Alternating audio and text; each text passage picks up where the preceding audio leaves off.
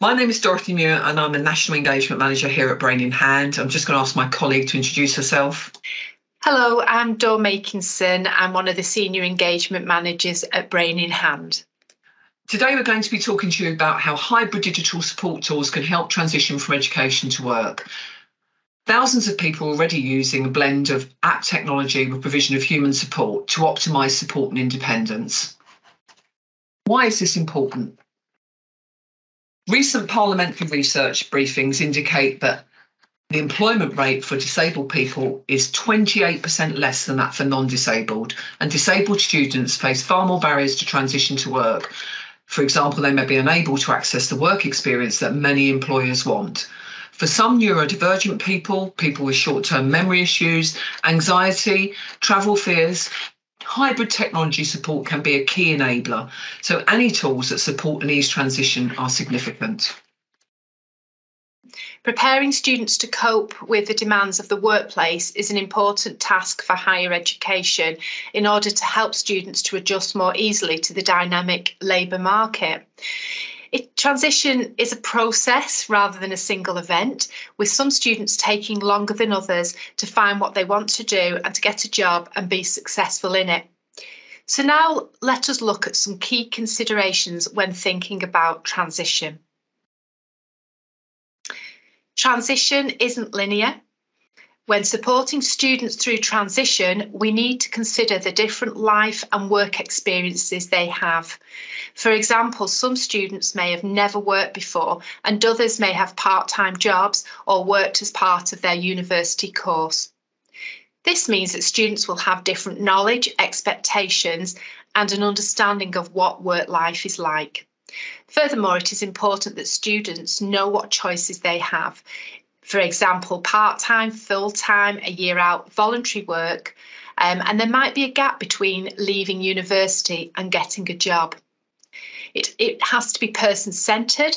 It's so important to support the student to develop key competencies, which will mean that not only can they have a good chance of getting a job, but have the capabilities to sustain it. Don't forget that students have been used to attending lectures and self study, which may not utilise all of their working week, and time management might be something they have to work on. Transition needs to be informative. It is important that students know what they're actually applying for and what the job entails. With little context, this can be difficult for the student. The language and terminology can be extremely confusing as it can mean different things in different contexts and environments, and this will need to be explained and not assumed that the student understands. Students should be encouraged to utilise the skills and knowledge of people such as their university careers advisors, members of their support team, and personal tutors to help them. Hybrid digital support, which is that balance of human support and technology, can help on with a student's transition uh, journey. And Dorothy will now explain why and how. What do we mean by hybrid digital support and the balance of human tech? The slide shows the different strengths of each uh, component. It's really about seeing technology not as an end in itself, but as an enabler. And there needs to be a balance between human aspects of support and digital, with the best solutions drawing on both. Hybrid solutions are constantly looking at getting that balance right. A fully digital solution to support transition is certainly cheaper and more scalable, but we know from some NHS studies that adherence to standalone digital tools without other human support can be low. However, digital tools can do things that human intervention simply can't replicate. For, for example, it can provide users with mood monitoring data on a significant scale and provide data timelines which support reflection, an essential skill for self management and perhaps for transition. For new environments encountered in transition, it's really useful in establishing and reinforcing routines and positive behaviours. Digital elements can help perform repetitive, daily, time consuming tasks, preparation and travel for work, reminders about bringing necessary equipment, and discrete reminders or prompts for office protocols. Data from these tools provides the person and anyone they choose to share with, that could be a coach, mentor, or work manager, added value of in-depth data analysis, which can really be helped help progress work plans. It can help identify, for example, patterns in stress, which activities, which time of day or day of the week are particularly stressful for the individual and therefore support adaptations. But it's a combination of the digital and the human intervention, which must be bespoke, paced, and user led, that really enables a person to flourish and grow towards independence. The human element in particular is crucial in helping review progress, update input into digital tools, and make sure that there's a full and ongoing conversation about transition. A holistic view of transition is really significant, seeing the whole person, not just the school, university, or work placement. By its 24 hour nature, digital hybrid support can reflect and affect every environment that impacts on a person's success in transition.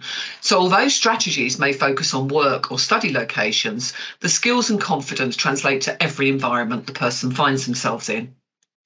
We've looked at problems data, which was input from over 100 users of hybrid digital technology over a 12 month period, a total of over 400,000 data records. 13 key areas of problems were identified, as the slide indicates. What's interesting about analysing the data points is the sheer number of stressors for individuals with anxiety based health issues or who are neurodivergent, barriers that they confront in their everyday lives and particularly in transition from regulating emotions to basic self care, getting on a bus, talking to others. There's not one aspect of everyday living that's anxiety free for many students transitioning. The second observation on this slide is that the small practical, granular strategies that can be developed to self manage and support successful transition. Strategies like how to start a conversation in the office or engage in small talk, remembering to eat at work, managing time and priorities. Everyday practical problems can feel overwhelming in transition, but a person can be very well supported by hybrid digital technology. So now let's look at one student's experience of transition. The student was struggling at university with peer interactions, particularly out of lectures, and this was negatively impacting on her overall well-being and confidence. She had a lot of self-doubt, particularly off campus. For example, going to the shops or on nights out with her peers. This led to some risky behaviour, which put her in vulnerable situations and eventually leading to self isolation. So the student was recommended hybrid digital support to help her build confidence in the skills and knowledge she already had, to build on them to use more frequently on and away from the university campus. By the time she was near to leaving university, socialising with her peers had much improved, along with her confidence and self esteem. The next phase in her life was to preparing to leave university and getting work ready. Doubt set in her mind about meeting new people and going for job interviews. Using her hybrid digital support helped her to realise that she already had many skills and strategies to cope in a variety of situations. And with someone linked to the digital support, she began to explore transferable skills to use in life away from university. So let's think about preparation for work.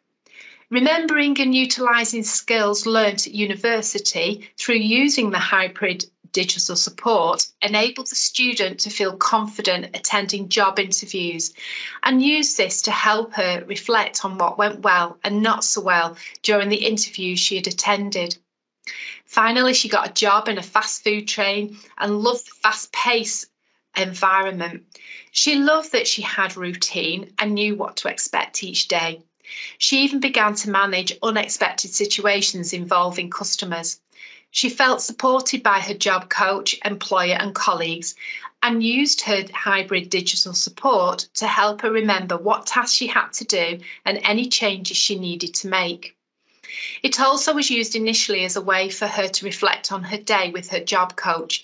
She told me that her hybrid digital support helped her to successfully manage new work challenges, which in the past would have caused her so much anxiety that she probably wouldn't have been able to cope with work life.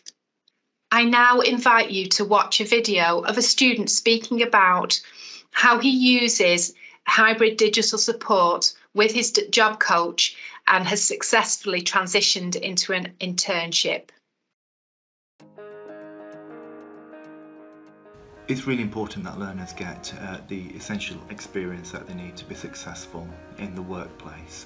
We work with some very high profile employers that also are committed to ensuring that learners are successful.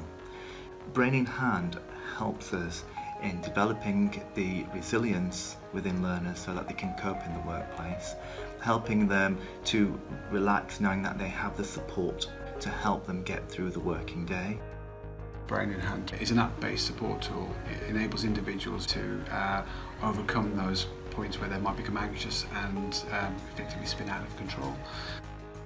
I'm Curtis's job coach and I've been helping him on his internship.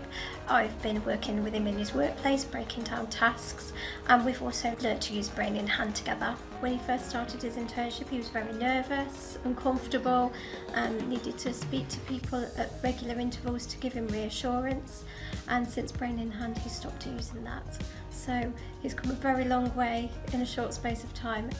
Since using brain hand, my anxiety come down a lot. I feel more confident in myself. I believe I can do a lot more on my own and need that support from people around me. So since Curtis has used Brain in Hand, I feel like he's better equipped to deal with the next steps than he would have been. He's um, able to cope with the thought of leaving the place, leaving Hereward College and moving on to something new without his job coach's support. So I feel it has built up his confidence to the point where he doesn't need me and I'm no longer, I'm redundant. Harriet's been using Brain in Hand to help her manage um, with her different anxieties and coping strategies. We've worked alongside Brain in Hand to find uh, programme that suits her. I've, I think that Brain in Hand is, is a really good app because it supports young people with disabilities um, into independence in all areas. So as well as at home, I also use it at college as well and when I'm out in public. Um, I've now got myself a paid job, 20 hours a week, at a hotel. Before I didn't know about Brain in Hand, I would have relied on my parents or my or a staff at Hereward, but since I've had the Brain in Hand, I know that the app is kind of my friend in a way. Uh, from a Hereward perspective, we've found Brain in Hand to be particularly useful when a young person makes the transition from Hereward to the next phase of their life. At some point, Hereward support will, will stop, and uh, as an organisation, we get to like our students and want to, you know, for them to achieve their level best. So having a technology that they've developed and gotten used to within the organisation and will continue to use when they leave has enabled us to to some extent uh, continue to support them beyond the auspices of the organisation. Um, students and, and young people will feel as if they've got an anchor when they leave the organisation and move into the next phase of their life and I think that can't be a bad thing. Thank you for listening to Dorothy and I, and we hope you have found the presentation interesting. Please do contact us if you would like further information. Also, don't forget to sign up for our goodie bag, where you will receive student and supporter guides and access to our free demo account. Thank you.